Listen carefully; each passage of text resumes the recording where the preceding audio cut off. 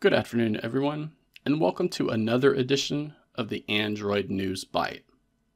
If you're into emulating PC games on your Android smartphone or tablet, then you're likely already familiar with an application called Winlator.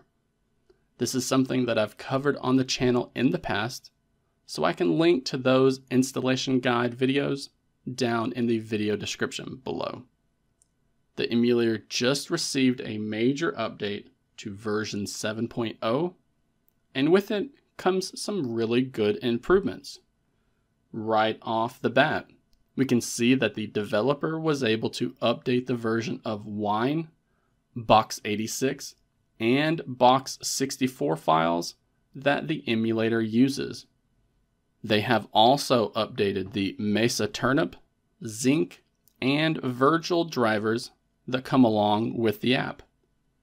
But one of the biggest improvements that we're seeing with this update is the improved stability for XInput, aka the controller support for Winlator.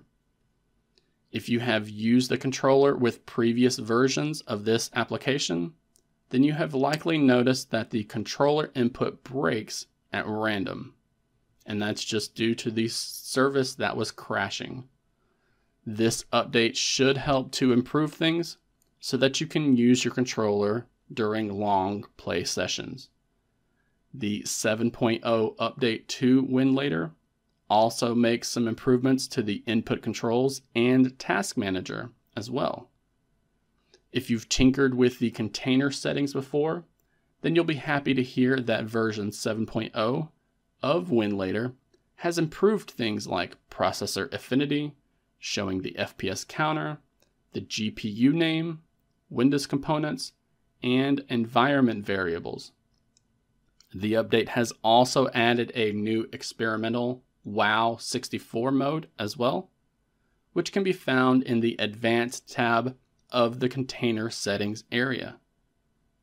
VKD 3D support has been added, there's a new logs option to view, and some intro videos for various games like Resident Evil 5, Lost Planet, and others have finally been fixed. Lastly, we're seeing some regular performance improvements that are helping across all of the games that you play on it. So if you have tried when Winlator in the past, but you noticed that the performance numbers were just below your preference, then definitely check out this new update. As I'm seeing reports from people playing games like Fallout 3, Fallout New Vegas, Tropico, and others who are getting higher FPS numbers with this update compared to the previous one. If you noticed that the performance of Winlator was great with version 3.x, then this update seems to be getting things back to those levels. The update can be installed like normal, so there's no need to reinstall any components or set anything back up again. A straight update to the Winlator application should be all that is needed. Now, the application still seems to have issues with the Snapdragon 8 Gen 3 chip since the container continues to crash. So if your phone has that chip, then your best bet is to use the Mobox emulator. However, Snapdragon 8 Gen 2 phones are performing better with this update, so definitely download this update and install it if your phone has that chip or any older ones.